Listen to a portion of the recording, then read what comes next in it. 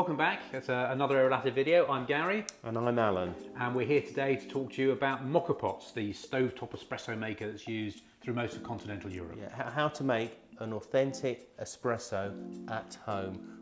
And these are our these are our mocha Moka pots. We call it MokaVista. We like the style. Comes in three sizes, known as a three, a six, and a nine cup. But but if you were serving them in the traditional style with a little little demi-tasse cup, yeah. you would get three, six, and nine. Correct. I'll just show you what that looks like. Exactly. That would so be the three small three cup. shots of espresso There you go. out of that. Okay.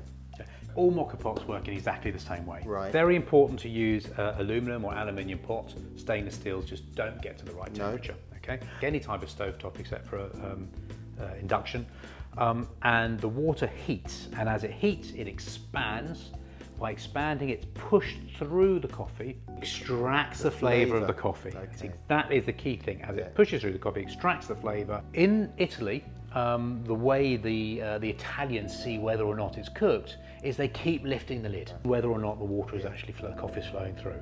Because what we tend to do here is we have um, a tendency to just listen and we shove it on the stovetop and we wait until you know. It makes the But that sounds the killer. It's I the death throes of the No coffee. good? Absolutely no good. I hate that It's way too late. The vista uh, means you can see as the coffee is flowing through.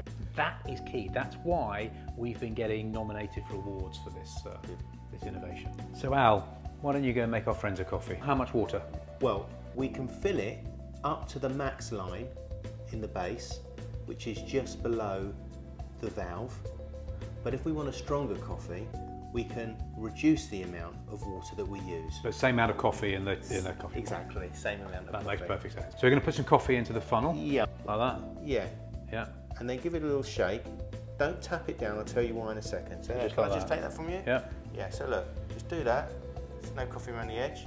Just goes to the top, but it's loose. It's loosely passed Important not to tamp it Yeah, down. you don't want to do that. Okay, then that goes in there. Like so. Right. Just tighten it slightly. And we're going to pop it on the stove. So is that all done now, Al? Here's one. Smell it, so rich. Hmm. Hmm. And here's another. Oh, that smells really good.